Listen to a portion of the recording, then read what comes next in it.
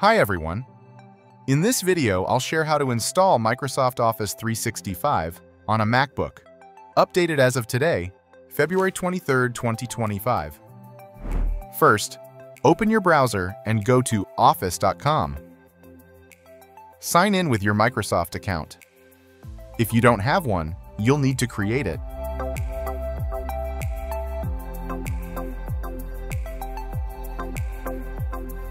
Once signed in, on the main page, look at the top right corner and click Install and More.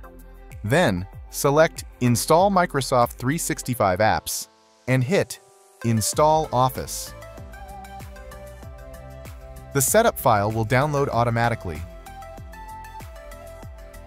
When it's done, open Finder, go to the Downloads folder, and you'll see the Microsoft 365.pkg file.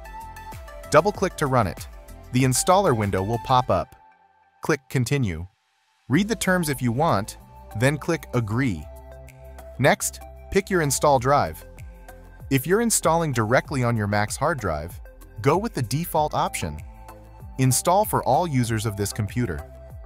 Since it takes up about 13 gigabit, if you'd rather use an external drive, choose Install on a specific disk.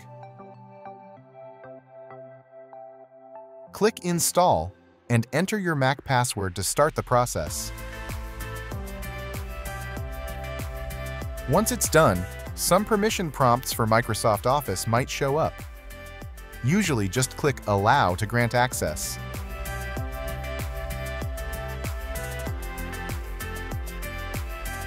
Hit Move to Trash to delete the downloaded setup file. That's it! Microsoft Office is now installed on your Mac. The first time you open an app, you'll need to sign into your Microsoft account to use it fully if you've purchased it. Otherwise, it'll be in read-only mode. By the way, if you want to buy a legit Microsoft Office 365 subscription, check the link in the description. Easy Tech Steps offers genuine Office 365 accounts at the best prices with full warranty. If you found this helpful, give us a like to support the channel. See you in the next video.